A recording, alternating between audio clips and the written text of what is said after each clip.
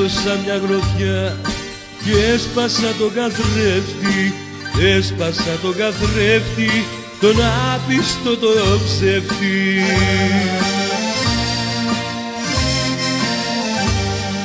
Παρούσα εκείνη τη στιγμή πως έβλεπα εσένα και γύρεψα εκδίκηση για κάτι περασμένα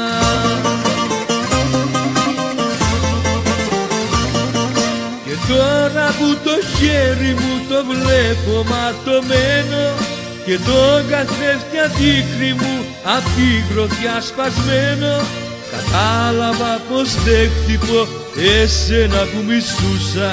Τον ίδιο μου τον εαυτό μονάχα εγώ χτύπουσα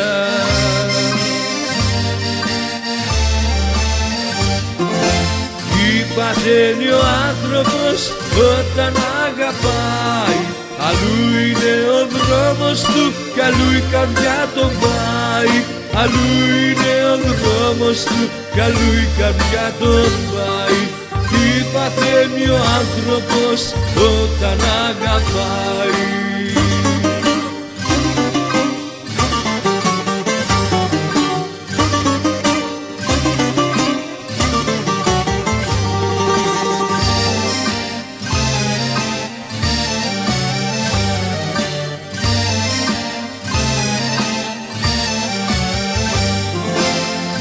παθαίνει ο άνθρωπος όταν αγαπάει.